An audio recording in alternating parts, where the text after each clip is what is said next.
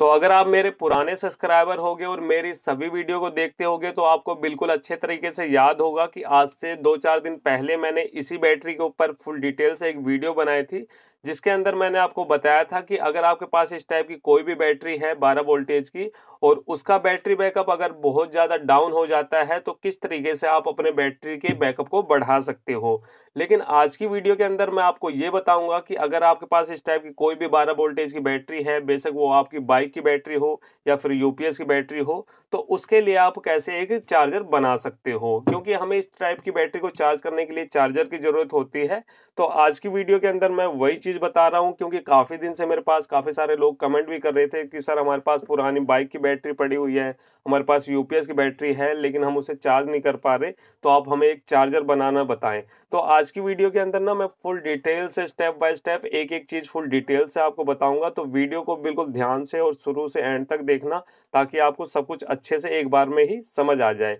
तो वीडियो को आगे स्टार्ट करने से पहले मैं आपसे रिक्वेस्ट करना चाहूँगा कि अगर आपको हमारी ये वीडियो पसंद आए, तभी आप हमारे चैनल को सब्सक्राइब और वीडियो को लाइक करें अदरवाइज़ वीडियो को डिसलाइक करें। तो चलिए फ्रेंड ज़्यादा समय न गवाते हुए वीडियो कंटिन्यू स्टार्ट करते हैं। तो यहाँ पे देखिए, इस बैटरी का चार्जर बनाने के लिए देखिए, यहाँ पे हम ट्रांसफार्मर का यूज़ करेंगे। ये देखिए, मेरे पास ये ट्रांसफार्मर है, क्योंकि ये जो हमारी बैटरी है, ये कौन सी हमारी 12 वोल्टेज की है। तो ये जो हम ट्रांसफार्मर ले रहे हैं, अभी ये पैकिंग में ही है। इसको मैं खोल के दिखा दूँ आपको।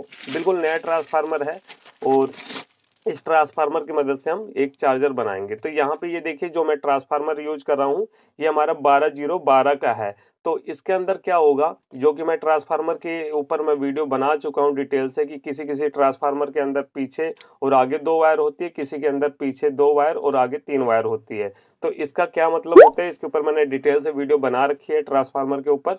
तो आप जाके मेरे उस वीडियो को देख के समझ सकते हो कि ये ऐसा क्यों दिया होता है। तो यहाँ पे देखिए, अब हमें क्या करना है? इसके लिए ये ट्रांसफार्मर हो गया। अब ये ट्रांसफार्मर कौन सा है हमारा? ये स्टेप डाउन ट्रांसफार्मर है। ये क्या करता है कि वोल्टेज को कम करता है, जैसे कि ये वाली जो वायर है हमारी इनपुट वाली वायर है और ये हमारी आउटपुट वाली वायर है।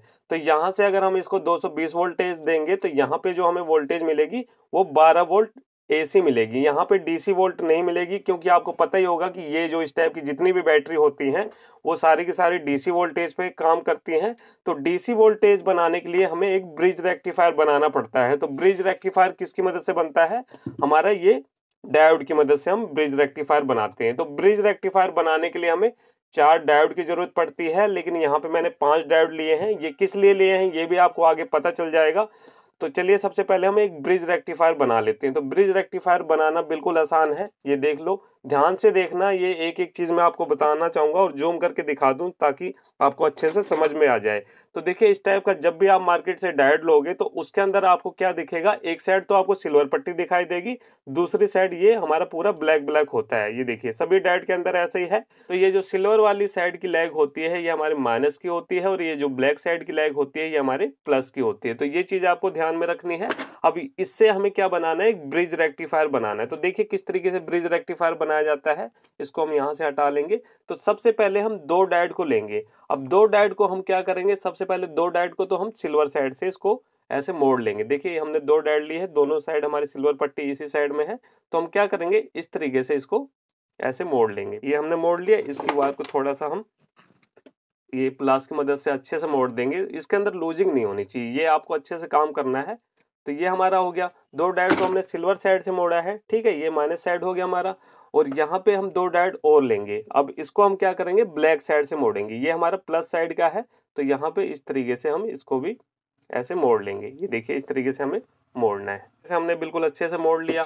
अब उसके बाद हमें क्या करना है? ये दोनों डायड है हमारे। अब इसके अंदर आपको कन्फ्यूज़न नहीं होनी चाहिए। आप इस तरीके से मोड़ो या फिर इस तरीके से मोड़ो। एक ही बात है, आप कैसे भी इसको लगा सकते हो तो हमें इसको भी इस तरीके से मोड़ के ऐसे करना है। तो इसको भी हम इसी तरीके से कर रहे हैं। सब कुछ मैं आपके सामने प्रैक्टिकली कर रहा हूँ और जूम करके दिखा रहा हूँ ताकि आपको कोई समझने में प्रॉब्लम ना आए। तो ये देखिए इस तरीके से ये हमारा हो गया और ये वाली जो लेग होगी हमारी डैड की, इसको हम इस तरीके से इसके साथ में मोड़ देंगे। देखिए यहाँ पे इस तरीके से हमारा ये जो ब्रिज रेक्टिफायर है बन के तैयार हो चुका है और आप देख सकते हो कि कितना आसान है इसको बनाना। इसके अंदर कोई भी दिक्कत नहीं आएगी। आप इस तरीके से बना सकते हो ब्रिज रेक्टिफायर।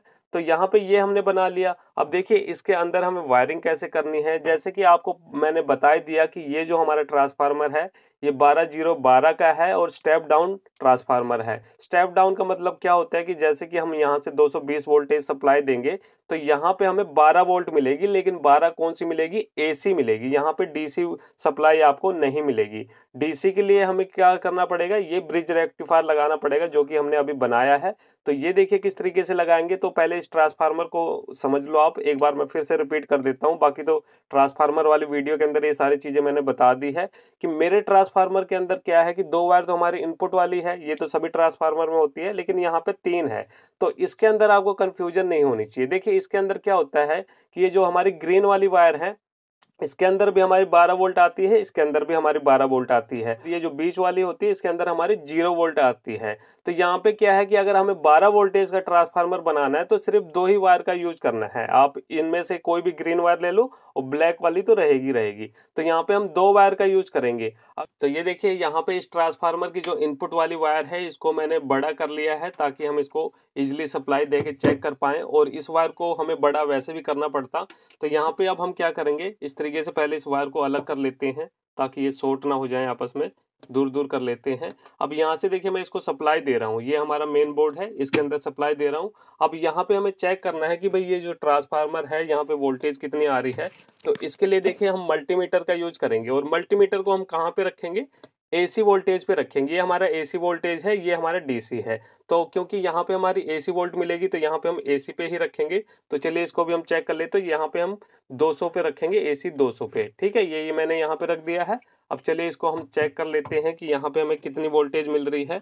तो जैसे कि मैंने आपको बताया था कि हमें ये चेक करने के लिए देखिए, एक वायर तो हमारी जो बीच वाली है, ये लेनी है क्योंकि इसमें ज़ीरो वोल्ट आती है, इसमें बारह आती है। तो इस तरीके से हम क्या करेंगे, ऐसे रखेंगे इसको और ये जो ब्लैक वाली है, इसको हम इसके साथ में टच करेंगे। तो ये देखिए, मल्टीमीटर की स्क्रीन पे आप देख सकते हो कि यहाँ पे हमें 15.5 के आसपास वोल्टेज शो कर रहा है।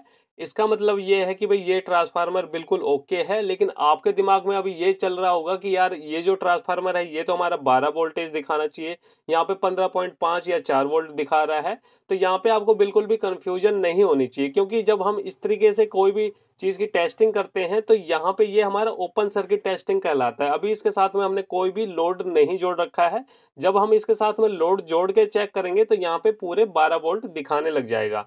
और दूसरा क्या होता है कि ये जो मल्टीमीटर होते हैं इस टाइप के, ये एकदम फिक्स वैल्यू नहीं दिखाते। कई बार जो वोल्टेज होती है, थोड़ी बहुत कम ज़्यादा करके दिखाते हैं। तो इसके दो कारण होते हैं। तो यहाँ पे ये हमारी बारह ही वोल्टेज है। तो इसी तरीके से हम दूसरे वायर को भी चेक करेंगे। तो इसको भी हम चेक कर लेते हैं। ये जो दूसरी हमारी ग्रीन वायर है तो यहाँ पे देखिए, इस तरीके से जब हम चेक कर रहे हैं तो यहाँ पे चौदह पॉइंट आठ सात ऐसे वोल्टेज शो कर रहा है। तो ये भी लगभग हमारी सेम वोल्टेज है। देखिए मल्टीमीटर कई बार कम ज़्यादा कर देता है, एक दो पॉइंट तो उसी वजह से आपने देखा कभी पंद्रह आ रही है, कभी चौदह पॉइंट नौ आ रही है। तो ये जो हमारे ट्रांसफार्मर है, बिल्कुल ओके है, इसी तरीके से आपको चेक करना है।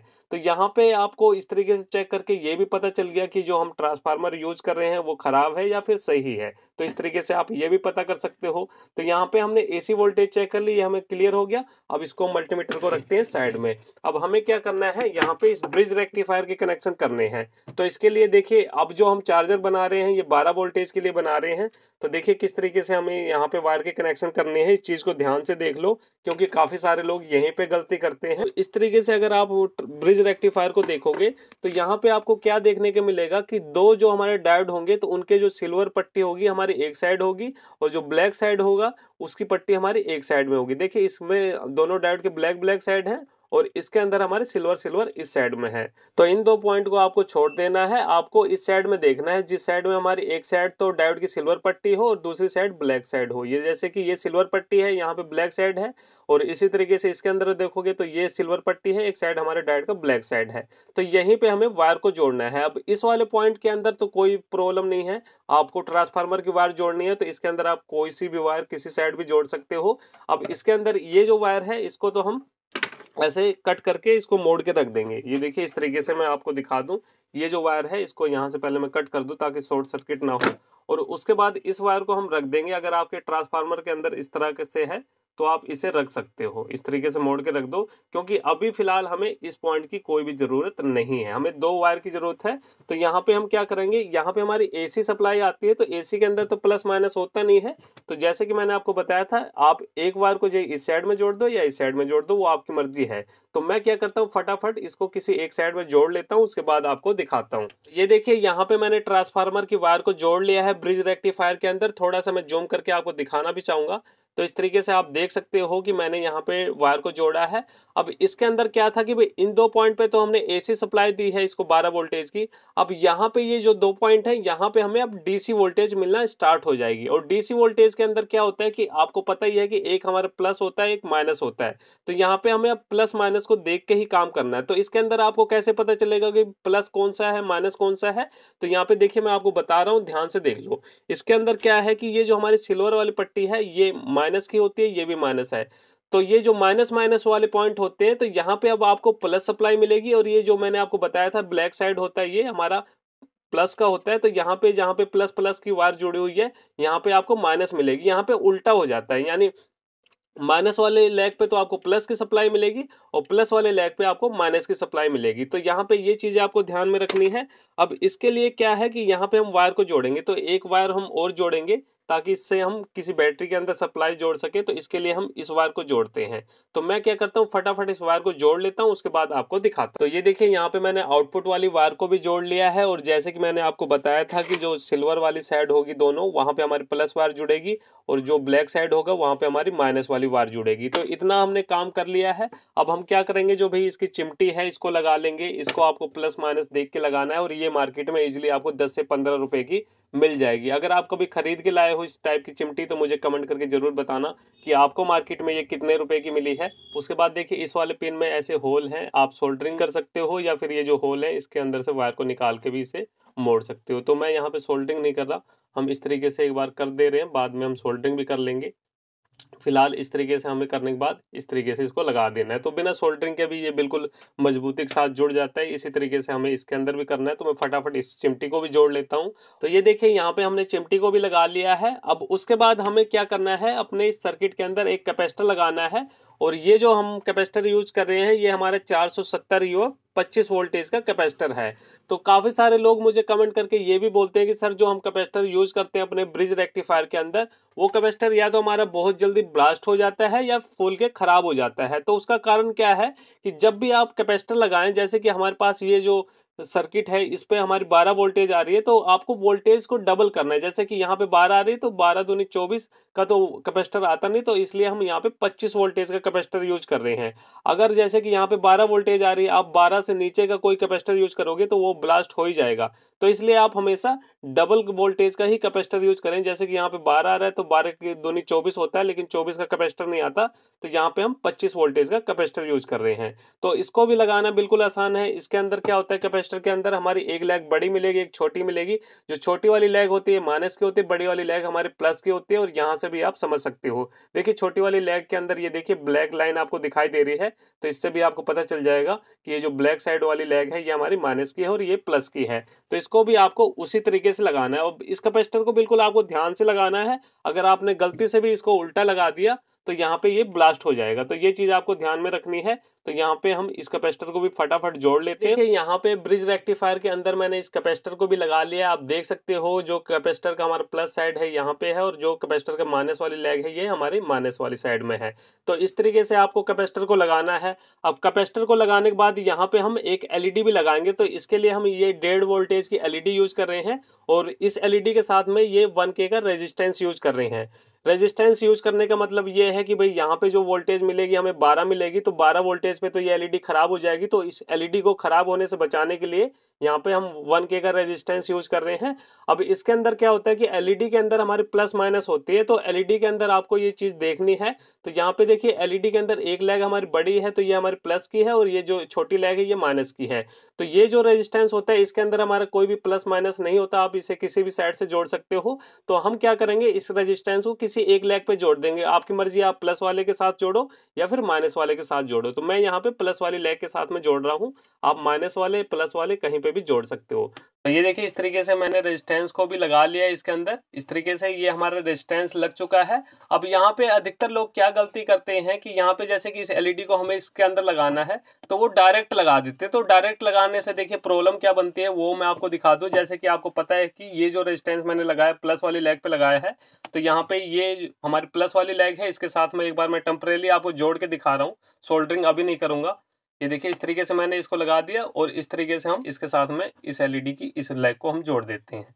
इस तरीके से मैंने जोड़ दिया अब यहाँ पे देखिए, जब आप इसे सप्लाई दोगे तो ये एलईडी हमारी बिल्कुल अच्छे तरीके से काम करेगी। यहाँ पे भी सप्लाई मिलेगी, लेकिन प्रॉब्लम क्या क्रिएट होगी, वो मैं आपको दिखाना चाहता हूँ। इस तरीके से देखिए, हमने इसको सप्लाई दी तो यहाँ पे हमारी एलईडी जल रही है। कोई भी दिक्कत नहीं है यहाँ पे। और यहाँ पे देखिए, ये 12 वोल्टेज की मोटर है। इसको भी मैं आपको चला के दिखा दूँ। इस तरीके से हम इसको लगाएँगे।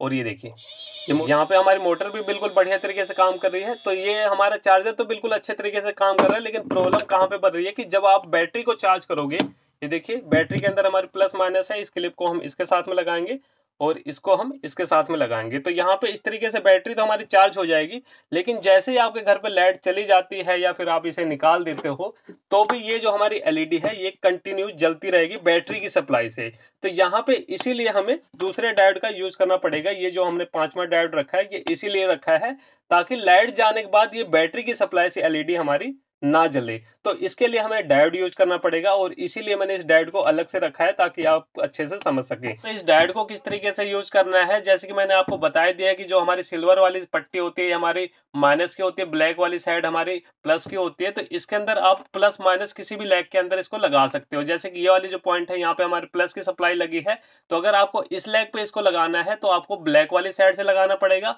और अगर आपको माइनस पे लगाना है तो इसको इस वाली सिल्वर वाली साइड से लगाना पड़ेगा। तो यहाँ पे हम क्या करेंगे? डायड को यहाँ पे प्लस वाले पे लगाएँगे तो ये जो ये वाली वायर हमारी प्लस की, ये वायर हमारी यहाँ से हट जाएगी और इसको हम यहाँ पे लगा देंगे और ये वाली जो वायर है, ये हमारी आके इस वाले माइनस वाले पॉइंट पे लग जाएगी डायोड के। तो मैं एक बार क्या करता हूँ फटाफट इसको लगा लेता हूँ। देखिए इस तरीके से मैंने डायोड को लगा लिया है और आप देख सकते हो कि यहाँ पे जो हमारी प्लस वाली वायर थी इसको हटा के मैंने डायोड के इस वाले पॉइंट पे लगा दी है। तो यहाँ पे इतना हमारा काम हो गया और अब उसके बाद हमें क्या करना है इसको फिर से अपने उसी पॉइंट पे इसको लगा देना है जैसे कि ये एलईडी वाली हमारी प्लस वाली वायर है और ये माइनस की है तो हम इसको उसी तरीके से अब इसको दोबारा से सोल्ड कर देंगे। तब हमने टेम्परेली लगाया था अब इसको हम सोल्ड कर देंगे। तो ये देखिए यहाँ पे मैंने एलईडी को फिर से उसी तरीके से लगा लिया है, जैसे कि पहले लगाया था। अब यहाँ पे देखते हैं इसको दोबारा से बैटरी के अंदर लगा के कि भाई बैटरी की वायर लगाने पे ये एलईडी हमारी काम करेगी कि नहीं करेगी। तो चलिए इसको हम देख लेते हैं, हमारी जो प्रॉब्लम बन रही थी वो सोल्व हुई कि नहीं हुई। तो इसके लिए देखिए यहाँ पे मैंने प्लस वाली को लगा दिया और यहाँ पे माइनस वाली लैग को लगा दिया। तो इस तरीके से आप देख रहे हो कि अब हमारी एलईडी यहाँ पे बैटरी की सप्लाई से काम नहीं कर रही है। ये तभी काम करेगी जब इसको हम सप्लाई देंगे। तो ये देखिए, ये जो हमारा प्लग है, इसको मैं लगा रहा हूँ।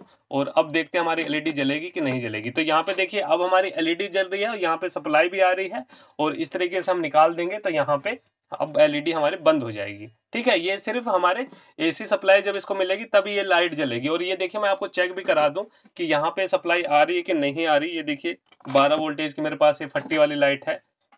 इसको मैं दिखा दूँ, ये भी आजकल मार्केट में बहुत चल रही है। और ये देखिए तो यहाँ पे ये हमारी 12 वोल्टेज की लाइट बिल्कुल बढ़िया तरीके से काम कर रही है और मोटर भी मैं आपको दिखा दूँ। ये देखिए, ये हमारे पास 12 वोल्टेज की मोटर है, इसको भी मैं चला के दिखा रहा हूँ। तो इस तरीके से ये जो हमारा ट्रांसफार्मर है बिल्कुल बढ़िया तरीके से काम कर रहा है, इसके अंदर कोई भी प्रॉब्लम नहीं है। तो इसी तरीके से आपको अपनी बैटरी के लिए इस तरीके का चार्जर बनाना है। जैसे जो चीज़ मैं आज की वीडियो के अंदर आपको बताना चाहता था, सब कुछ मैंने डिटेल से आपको समझा दिया है। तो अगर आपके पास इस टाइप का दो एम्पेयर का ट्रांसफार्मर है तो और इस टाइप की यूपीएस वाली बैटरी है तो लगभग इस चार्जर से आपकी बैटरी लगभग साढ़े तीन घंटे में फुल चार्ज हो जाएगी। और अगर आपके पास बाइक वाली बैटरी है तो भी आप इसी ट्रांसफार्मर से इजीली अपने बाइक वाली बैटरी को भी चार्ज कर सकते हो। तो उम्मीद करता हूँ कि आपको हमारी ये वीडियो पसंद आई होगी और अगर आपको हमारी वीडियो पसंद आई हो भाई तो वीडियो को लाइक शेयर ज़रूर करें और चैनल पे नए हो भाई तो चैनल को सब्सक्राइब करें। तो चलिए फ्रेंड फिर मिलते हैं नेक्स्ट वीडियो में कुछ नए टॉपिक साथ। तब तक के लिए जय हिंद, वंदे मातरम।